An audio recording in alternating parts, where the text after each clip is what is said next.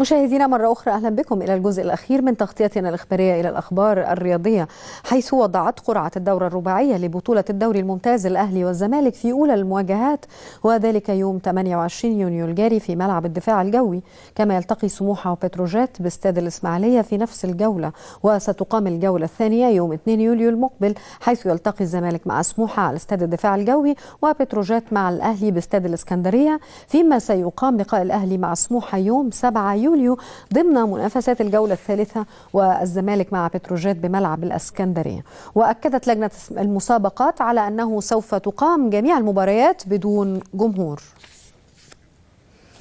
وإلى كأس العالم حيث يلتقي منتخب استراليا اليوم في السابعة مساء مع نظيره الهولندي في قمة مواجهات المجموعة الثانية لبطولة كأس العالم وضمن منافسات المجموعة نفسها يلتقي المنتخب الأسباني مع نظيره التشيلي في تمام العاشره مساء. كما يلتقي المنتخب الكاميروني ونظيره الكرواتي في الواحدة صباحا ضمن منافسات المجموعة الأولى.